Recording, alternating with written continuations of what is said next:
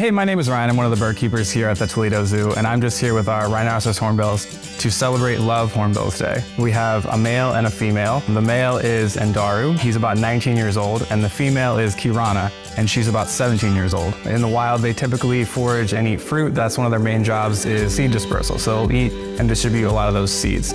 So here at the zoo, we give them a lot of different types of fruit, as well as some of our normal diet mixes that contain different nutrients that they need. So these birds are mostly from Asia and the surrounding islands. They live in more of a rainforest type atmosphere. So we turn the misting system on to help them to take baths to maintain their feather condition. Normally in the wild, they take a lot of baths when it rains because they live in more of a rainforest type atmosphere. So that is to help simulate that here at the zoo. These birds have a really interesting nesting cycle. So in our habitat, we have a tree that we fabricated and that's to mimic their natural habitat in the wild and what they normally do for nesting. So normally in the wild, they find a tree cavity and the female goes in, lays the eggs, and then she will seal herself in. So she uses material like old fruit and different things like that to seal the opening so there's only a tiny slit. The male will bring food to and from the nest cavity for her.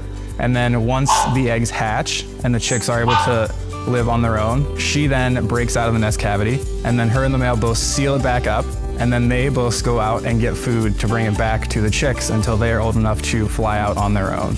So these guys are listed as vulnerable to extinction, and basically the reason for that is because in the wild, a lot of their native trees are being cut down and used for timber, and they rely on those really old trees and those cavities in those trees to be able to reproduce and to raise offspring for the next generation.